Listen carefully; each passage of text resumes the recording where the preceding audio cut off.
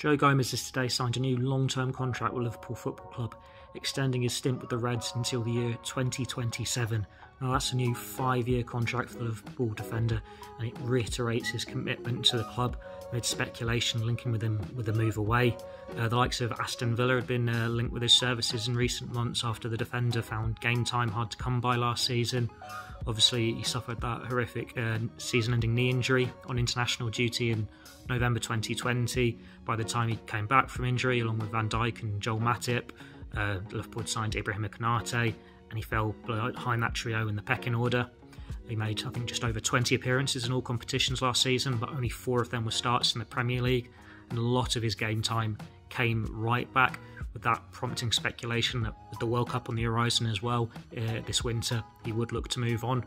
But Liverpool had no desire to lose uh, Joe Gomez. They've always had this plan um, to keep him with the club.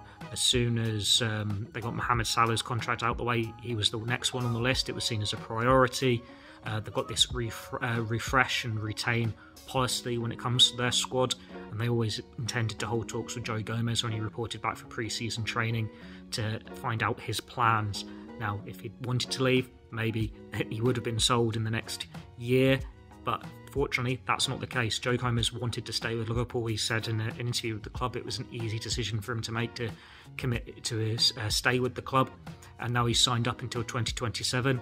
Both the defender and the club think his best years are ahead of him. Uh, he's been very unfortunate with serious injury since his 3.5 million move to Anfield in 2015. Only been limited to 142 appearances, I think, but he's still won every major honour going. Now it's all down to Joe Gomez. The squad are due to fly out for pre-season uh, tour in Asia on Saturday. He's been linked with up with them since day one on Monday.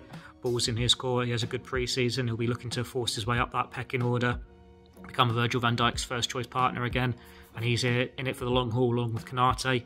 This could be a future Liverpool centre back pairing. Uh, yeah, Joe Gomez has signed up. He is with Liverpool until 2027.